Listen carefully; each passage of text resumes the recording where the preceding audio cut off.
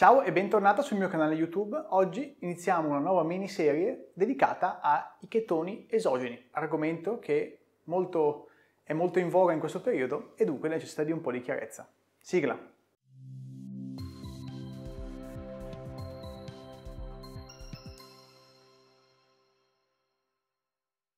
Ho deciso di fare questa miniserie perché in praticamente tutte le dirette e su, sotto i commenti can- del canale YouTube, sui, nei video e nel gruppo Facebook e sostanzialmente ovunque io abbia pubblicato un contenuto, una delle domande più ricorrenti è ma cosa ne pensi dei chetoni esogeni, ma cosa ne pensi di come, si, di come, si, usano, ma cosa ne pensi di quello che promettono? E così via. Quindi questo mm, inizio, quindi questa miniserie vuole essere un po' chiarificatrice, almeno che, spieghi, che spieghi in generale come funzionano i chetoni esogeni, che cosa sono e come vanno utilizzati in maniera intelligente, non eh, come vi promettono di, di, insomma, di, di, utilizzarli e di spesso e volentieri buttare via discreti soldi. Ok? Quindi questo è l'obiettivo di questi video che andremo a fare in successione. Vediamo intanto di capire che, in che ambiente ci stiamo muovendo, quindi in che mm, come dire, ecosistema metabolico ci stiamo muovendo. Noi abbiamo i chetoni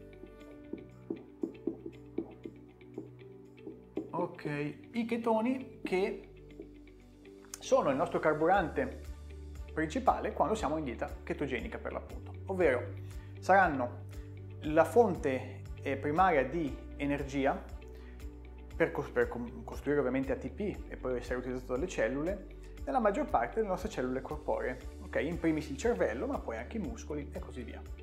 Quindi questo, queste molecole vengono prodotte nel nostro fegato per supplire appunto poi le richieste energetiche che il nostro corpo avrà, in alternativa ovviamente alla molecola principale che di solito è il glucosio. Mm? Questo è un po' l'ambiente in cui ci troviamo. E questi chetoni sono di tre tipi, ovvero l'acetone,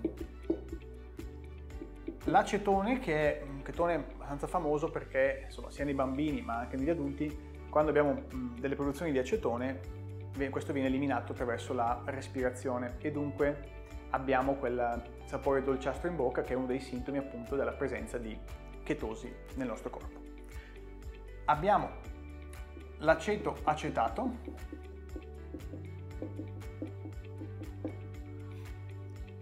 che è un altro dei nostri chetoni, ma il principale nostro chetone d'utilizzo è il BHB, lo abbreviato, che è il beta-idrossibutirato, che è la molecola diciamo, di utilizzo principale nel nostro organismo. Ok? Quindi è la molecola e il chetone principale. Questi chetoni sono in equilibrio fra di loro, quindi in realtà quando c'è un eccesso di, di, di beta-idrossibutirato si produce più acetone, dell'aceto acetato viceversa. Quindi tutto confluisce nell'avere sufficiente BHB e quando ce n'è troppo vengono prodotte più specie di questo tipo, perché è il BHB il nostro diciamo, carburante principale rispetto ai tre chetoni che abbiamo.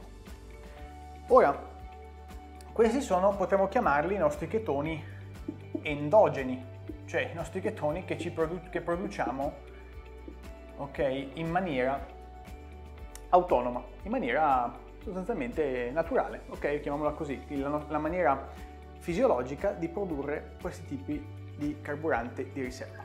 Mm? Invece, quello che abbiamo è la possibilità di utilizzare i chetoni esogeni. Quindi i chetoni che vengono immessi in realtà dall'esterno, con la promessa di mantenere quindi un livello di chetosi più alto, ok, o comunque sufficiente.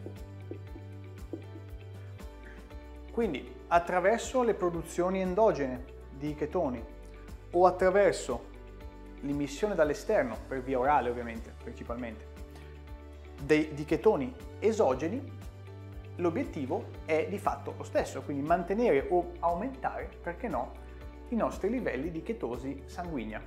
Okay, quindi questo è diciamo, l'ecosistema attorno a cui andiamo a muoverci e dentro cui ci muoviamo. Nel prossimo video andremo a vedere invece cosa, che, che tipo di forme di chetoni esogeni troviamo e il loro pro e il loro contro. Ci vediamo al prossimo video.